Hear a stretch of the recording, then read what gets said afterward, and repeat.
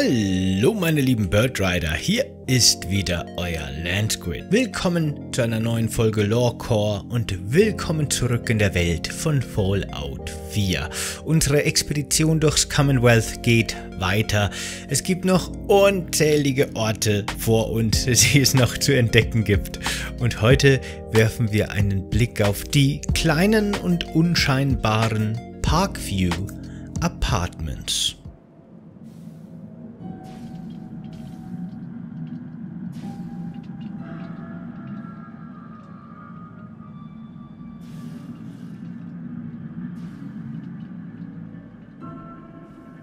Am Eingang der Parkview Apartments begrüßt uns gleich mal ein Supermutant gemeinsam mit einem Geschützturm.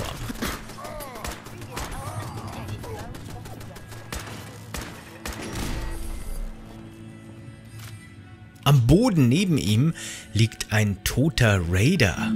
In der Umgebung sind Stimmen einiger anderer Raider und auch Supermutanten zu hören. Kam es hier etwa zu einer Konfrontation zwischen den beiden Gruppen? Im Inneren des Gebäudes hängen gleich mal einige Leichen von der Decke aufgespießt auf Haken. Ein typisches Anzeichen für die typischen Raider, die man im Commonwealth so vorfinden kann.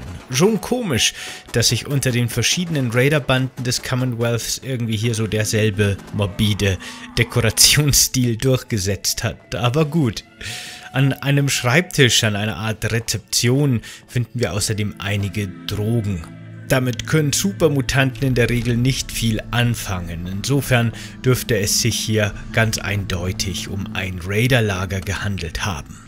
In der Haupthalle, die relativ leer ist, hören wir allerdings auch schon Kampfgeräusche. Nehmen wir mal den Aufzug nach oben und machen uns ein besseres Bild. Stock. Stock. Oben erwartet uns ein wirklich schreckliches Bild. Haben Raider hier ihre Opfer gefoltert? Waren sie an Informationen interessiert oder haben sie diese grausamen Taten nur zum Spaß durchgeführt? An der Tür hinter dieser Leiche sind Schusslöcher und ein großer Blutfleck. Dieser Siedler hier wurde wohl exekutiert. Aber wir finden hier auch einige tote Raider. Sie haben wohl ihre Strafe für ihr Handeln schon erhalten. Überall in diesem Gebäude finden wir schwer verletzte Körper toter Raider. Ein wahres Massaker, das hier stattgefunden haben muss.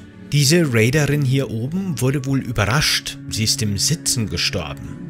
Aber die Angreifer kamen doch anscheinend von unten nach oben ins Gebäude, oder etwa nicht? Vielleicht war sie einfach auf Drogen oder vollkommen weggetreten. Der Geschützturm neben ihr ist noch intakt.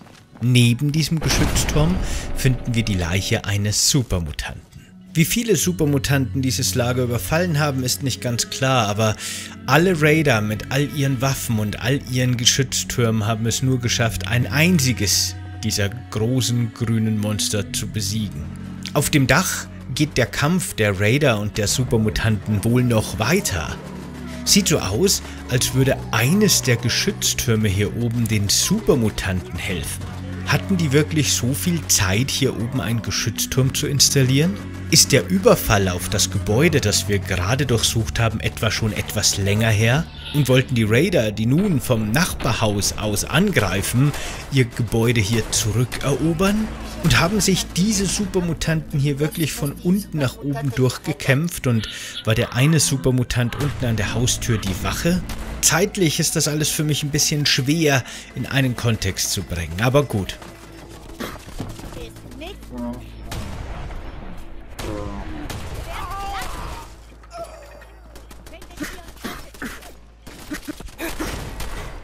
Vom Dach aus können wir noch ein weiteres Gebäude mit dem Namen Wohnhaus betreten. Hier erwartet uns ein überaus bizarrer Anblick.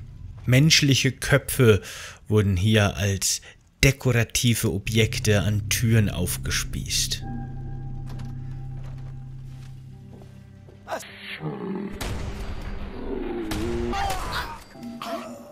Ich habe was gehört.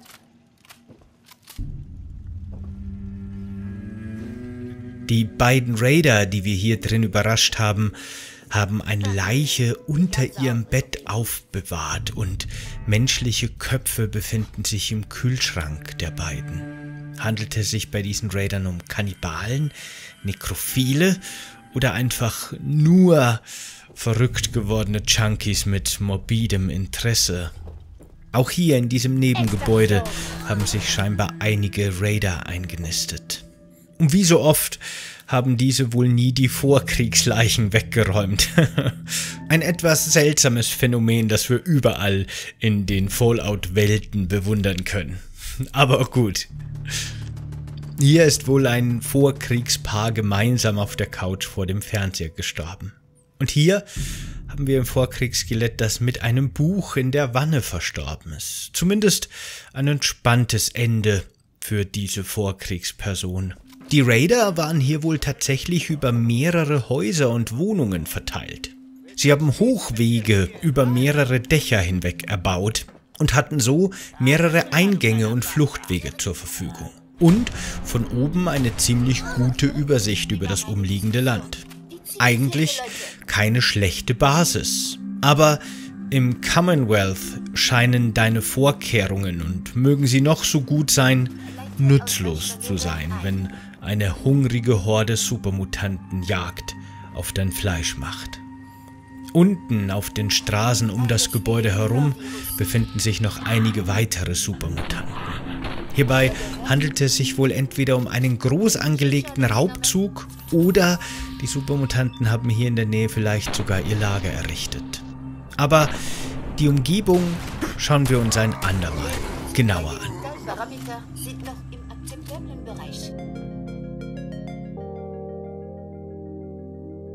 Vielen Dank fürs Zusehen. Ich hoffe, dieses Video hat euch gefallen. Wenn ja, vergesst bitte nicht es zu liken, abonniert den Kanal, wenn ihr es nicht schon getan habt und eure persönlichen Geschichten, Erfahrungen und Meinungen zu den Parkview Apartments und diesem Video könnt ihr mir gerne in die Kommentare schreiben. Wenn ihr Bock habt, könnt ihr den Kanal auch sehr gerne auf Patreon mit einer kleinen monatlichen Summe unterstützen, aber auch über kleine Trinkgelder über PayPal freue ich mich natürlich sehr. Hilft mir alles total dabei, den Kanal weiter betreiben und auch ausbauen zu können. Vielen Dank und hoffentlich bis zum nächsten Mal. Macht's gut bis dann und mögen die Tentakel mit euch sein. Ciao!